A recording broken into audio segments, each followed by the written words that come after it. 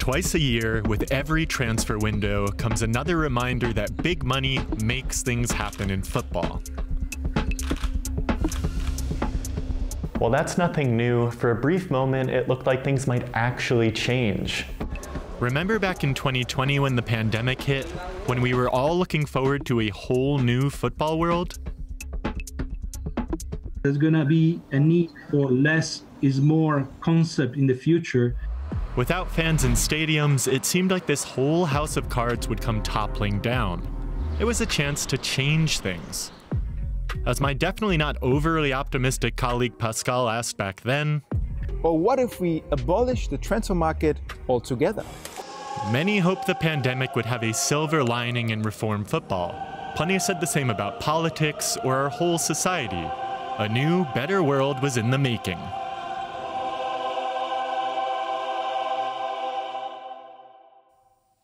But the world stopping in its tracks didn't make a dent, especially in football. Football survived two world wars. It survived economic crises and shocks. It is opera for the masses.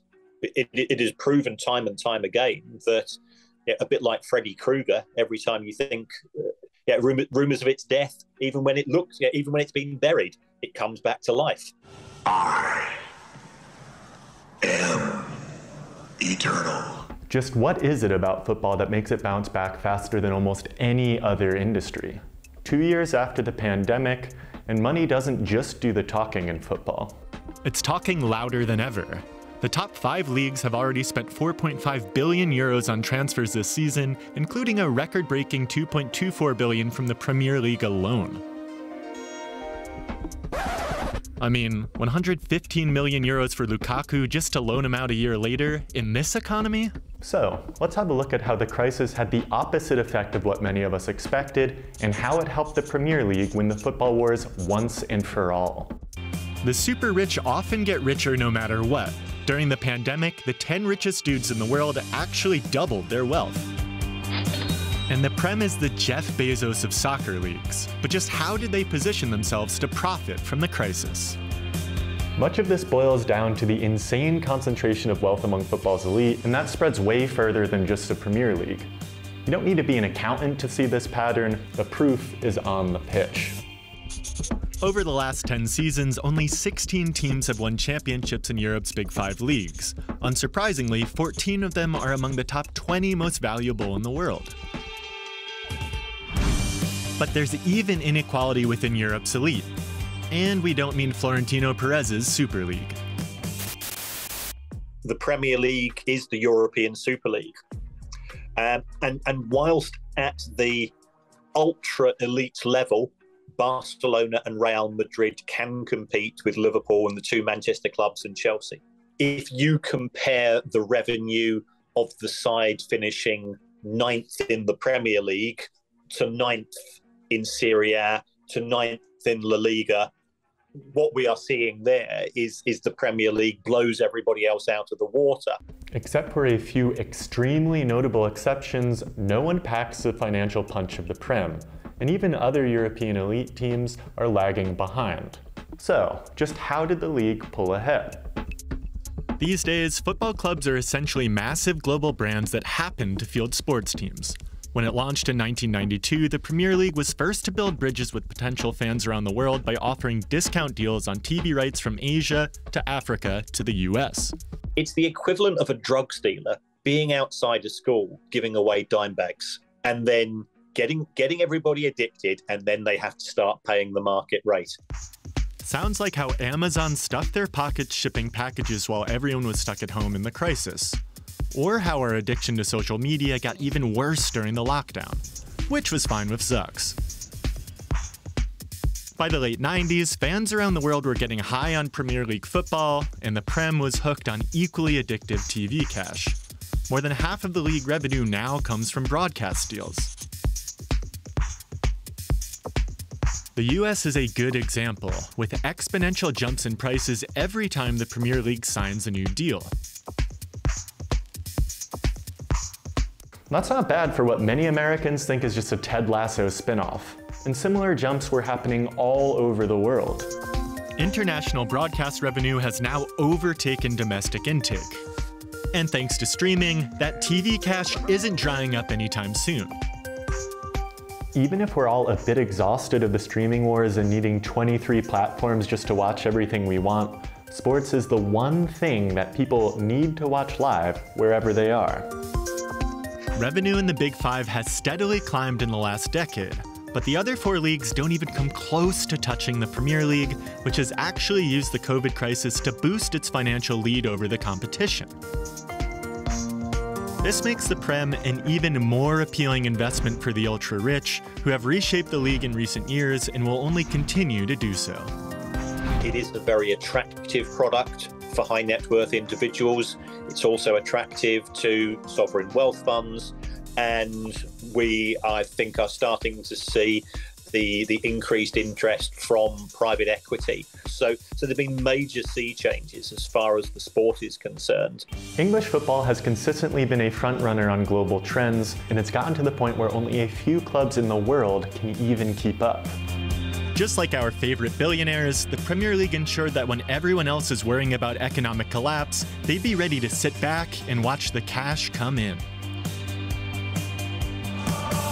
All the fans tired of money in football, of the crass inequality of being seen as customers, thought that this moment was an opportunity for change. Stadiums were empty, the world economy ground to a halt, and it looked like whether they wanted to or not, football clubs would finally have to rein in their spending. Financial experts KPMG predicted a 10 billion euro hit to the transfer market. By now, we know this didn't happen. At the highest level, football has proven recession proof. If we look at the transfer spending of the Big Five leagues over the years, we can see that the 08 recession was barely a blip and things are bouncing back from COVID. But looking closer, the Premier League drove this trend, accounting for nearly 40% of spending.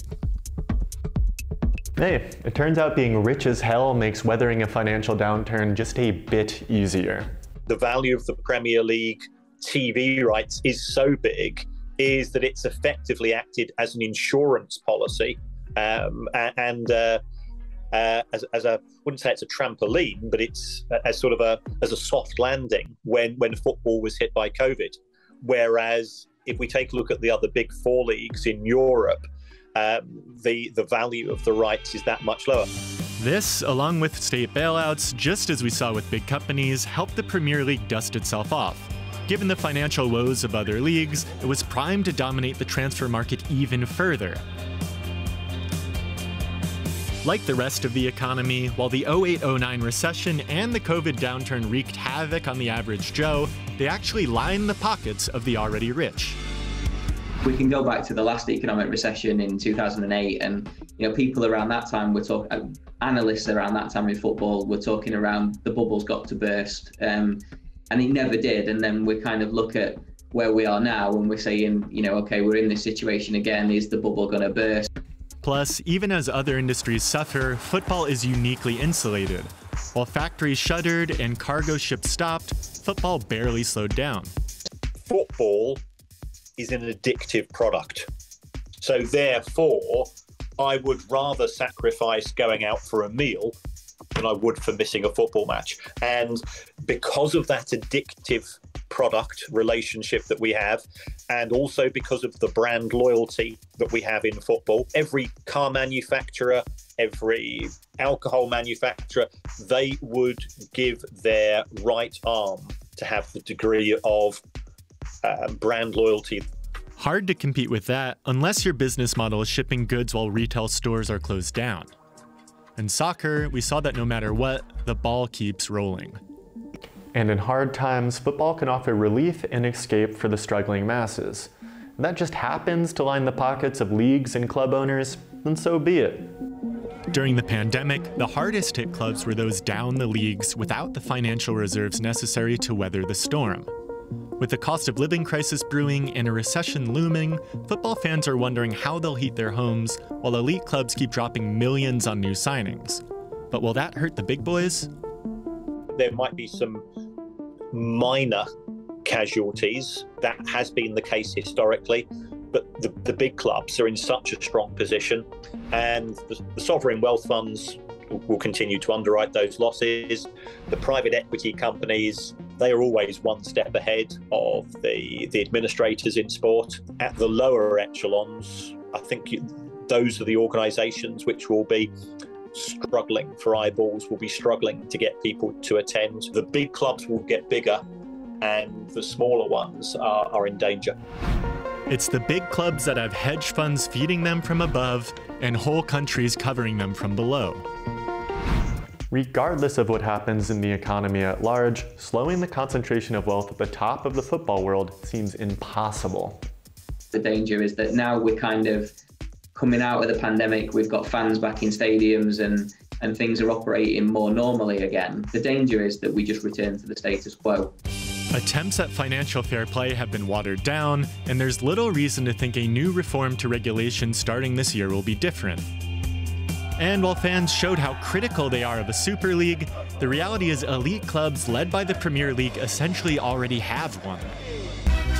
In the Bundesliga, for example, this has led to ever louder calls to reform the fan ownership 50 plus 1 rule to keep the league competitive. Even big clubs with storied histories are faced with the choice of leaving their fans behind by focusing fully on financial growth, or getting left behind themselves by the big spenders. And without some kind of systemic change, things are only going to get worse. I think we will continue to see the domination of the Premier League, PSG because they're funded by sovereign wealth fund.